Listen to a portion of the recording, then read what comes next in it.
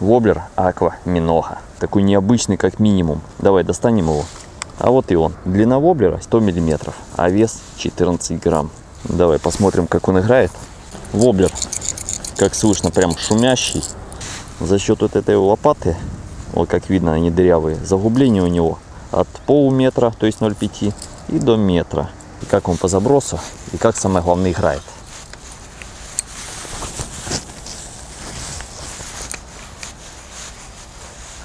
Полетел примерно метров 25, но можно и намного дальше его закинуть. Этим воблером можно как твичить, так и прямой проводкой. Давай более расскажу подробнее про этот воблер и покажу, как я на него ловил. Благодаря наиболее универсальному размеру 10 см обладает широчайшим спектром применения. Это и ловля окуня на мелководье, и охота троллингом на щуку или судака, и также рыбалка заброс берега или лодки. Но особенно воблер уловист при использовании рывковой проводки, то есть твичинге.